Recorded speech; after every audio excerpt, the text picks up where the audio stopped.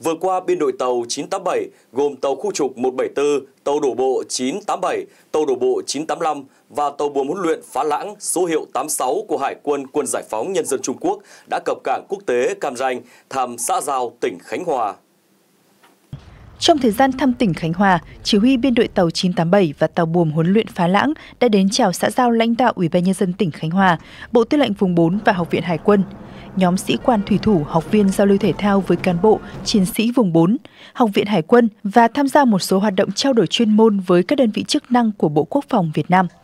Chuyến thăm nhằm tăng cường quan hệ hợp tác, hiểu biết và tin cậy lẫn nhau giữa hải quân hai nước, góp phần thúc đẩy và làm sâu sắc hơn nữa quan hệ hợp tác quốc phòng song phương Việt Nam-Trung Quốc.